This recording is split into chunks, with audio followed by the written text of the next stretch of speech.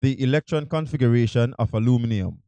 Aluminum has 13 electrons, 2 electrons on the first shell, 8 electrons on the second shell, and 3 electrons on the third shell. Therefore, the electron configuration is given as 283. For the orbital filling electron configuration, it is given as 1s2 followed by 2s2, then 2p6, followed by 3s2, then 3p1. For the shorthand electron configuration, it is given as neon, and neon represents the inner shells of aluminum. Therefore, the valence electrons will be on the 3s and the 3p orbitals.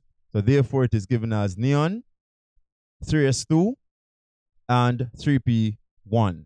Therefore, there are three valence electrons on the aluminum atom. Aluminum is widely used because it is strong, lightweight, durable, and resistant to corrosion. Thank you for watching. Have a great day.